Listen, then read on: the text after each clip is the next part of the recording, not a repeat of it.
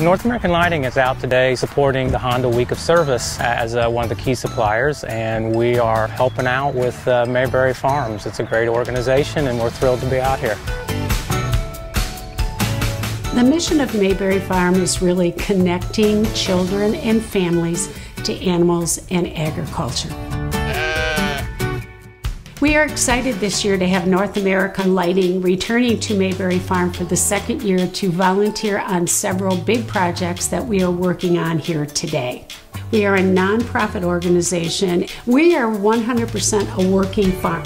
Without our volunteer network, we wouldn't get everything done we need to do. I decided to volunteer because Maybury Farms doesn't have a lot of um, staff, so they rely on the volunteer support through the community. This is just cool seeing that uh, the work that you're doing at the farm is making an impact. But just to see everyone want to get out and, and support this and, and be involved, I think is terrific.